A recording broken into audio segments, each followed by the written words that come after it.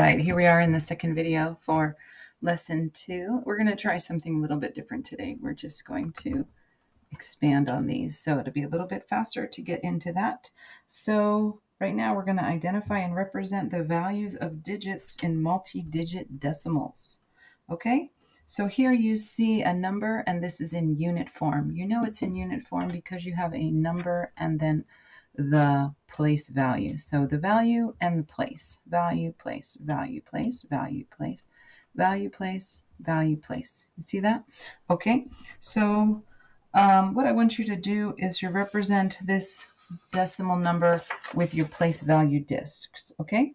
So you might need um, your whole number discs and your decimal discs. I'm going to give you some time to do that. If you feel like you need a little bit more time, you can pause the video um, to give yourself more time, or if you don't have your discs ready.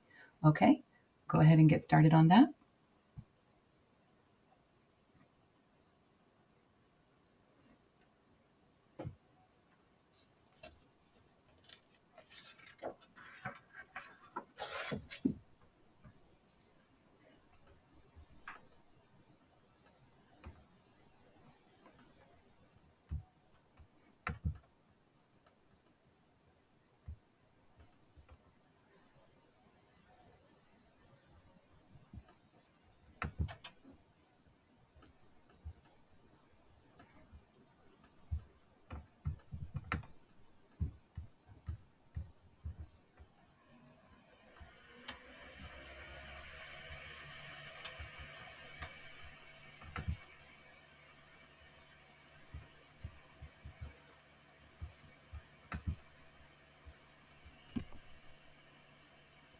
Okay.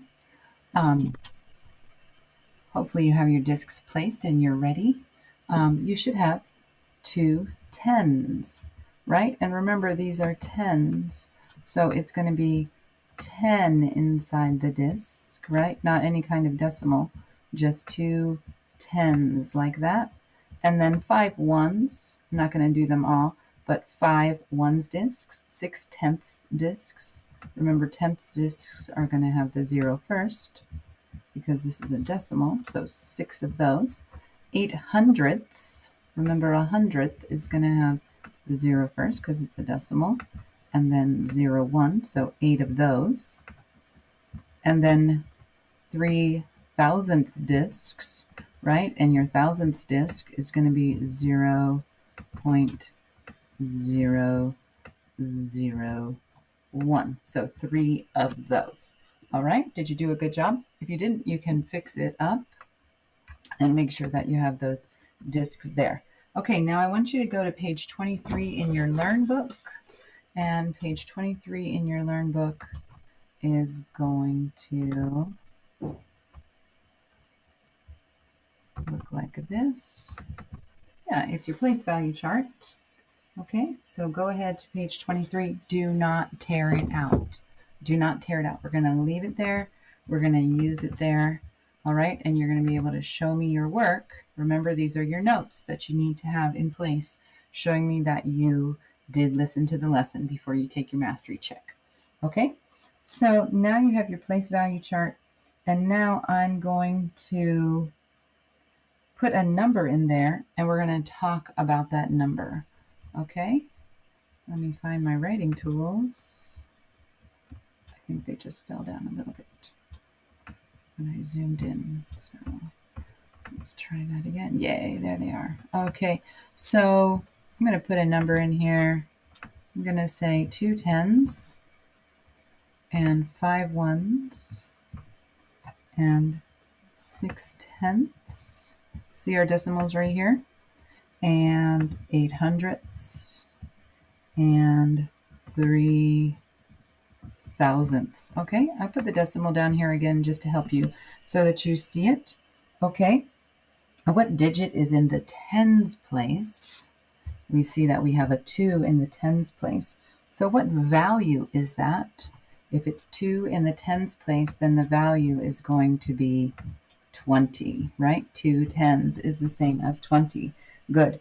So five ones is the same as 5, right? So this number together is 25. right? Yeah, sorry about the bad handwriting. And then 6 tenths, right? That would be 6 tenths, and we would write that with a 0 and a 6, 6 tenths, and then 8 hundredths, 0 0.08, yeah? And then 3 thousandths, 0 0.003. Yeah, so now we see the value of each of them individually in our place value chart. What about writing them as fractions? So we can write 6 over 10, right? And we can write 8 over 100, 8 hundredths, yes? And then we can write 3 over 1,000, 3 thousandths. Okay, you're writing this all on your place value chart. Not too big because we're going to do a couple more numbers. So make sure you're leaving some space there. Okay, all right, I'm going to clean that off. Make sure you have that written down. If not, you can always pause the video and do it, right? Giving you plenty of time to do that. All right. Um, let's look at our next one. I think I can pull it up here.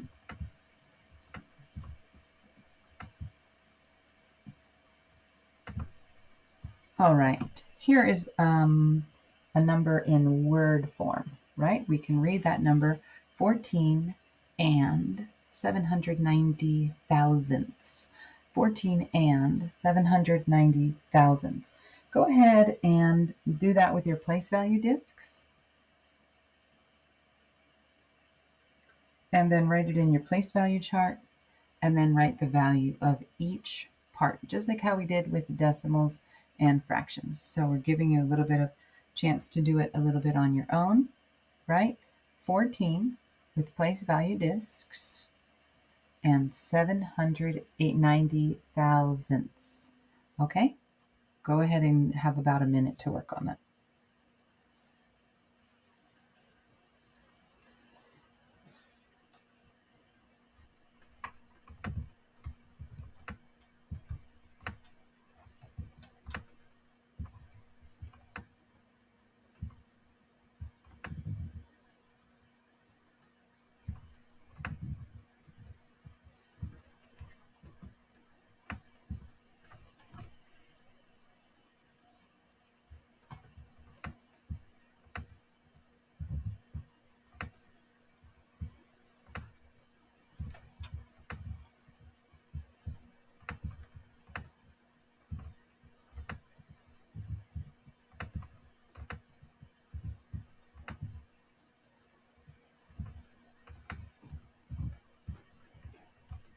Okay, don't forget you're writing it in decimal form and in fraction form.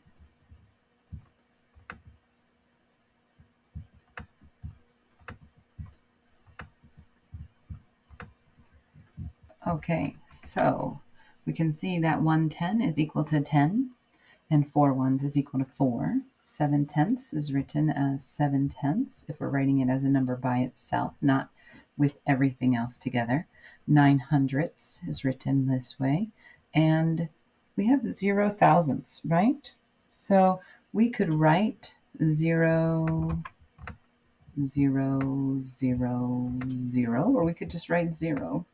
Okay, and then we could write zero over 1,000,